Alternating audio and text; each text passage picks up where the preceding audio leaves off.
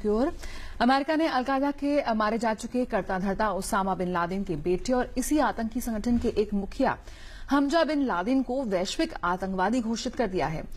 इसके लगभग डेढ़ साल पहले अलकायदा प्रमुख अल जवाहिरी ने हमजा को समूह का आधिकारिक सदस्य घोषित किया था। वर्ष 2011 में ओसामा की मौत के बाद हमजा अलकायदा का सक्रिय प्रचारक बन गया था। अमेरिकी विदेश विभाग द्वारा आतंकी घोषित करने का मतलब ऐसे विदेशी व्यक्तियों पर पाबंदी लागू करने से होता है, जिनके द्वारा आतंकी घटनाओं को अंजाम देने का गंभीर जोखिम होता है और जिससे अमेरिकी जनता की सुरक्षा खतरा हो या फिर राष्ट्रीय सुरक्षा, विदेश नीति या अमेरिका की अर्थव्यवस्था को खतरा पैदा होता हो। abajo.